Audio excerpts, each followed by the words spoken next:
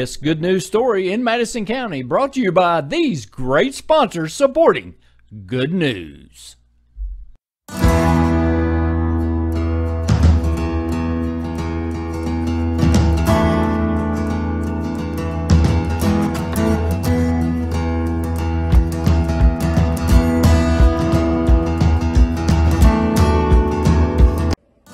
I'm Jeff Richey with your weekly Electric Berea Signal Boost.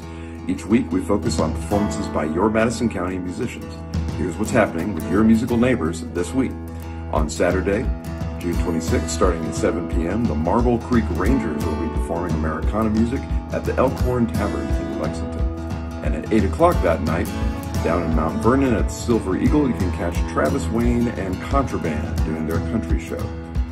On Tuesday, the 29th, at 6 p.m., Barefoot and Bourbon will bring Americana music to Tasty Tuesday in Irvine McDowell Park in Richmond. And remember, that's a weekly event, so the musical lineup will change. Tune in next time to find out who's coming up next on Tasty Tuesday. The following day at 6 p.m., the Dooley Gang will perform classic rock and country tunes at Sexy's Bar in Richmond. On Thursday night, as always, it's open mic night at Richmond Beer House in Richmond, starting at 7 p.m. And then on Friday, a very busy musical weekend in celebration of the 4th of July will begin.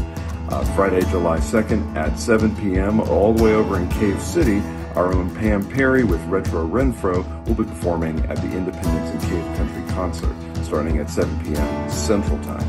A little closer to home in Richmond at Madison Garden Bar and Grill starting at 9.30, Marshall will be on the stage with more Americana. On finally, on uh, Saturday, July 3rd, Starting at 11 a.m. when the gates open and going through the night, there'll be the Vibe in the Vines Festival down at Chenault Vineyards in Richmond, and that'll feature lots of Madison County acts, including Manitoba Rock and Rolla and Nightshade.